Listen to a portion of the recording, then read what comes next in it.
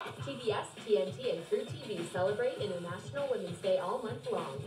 You guys, what are you doing tomorrow night? Oh, well, let me see. I believe I'm, yes, falling asleep in front of the TV. Well, my agent hooked me up with six tickets to a great play. I could fall asleep in a play.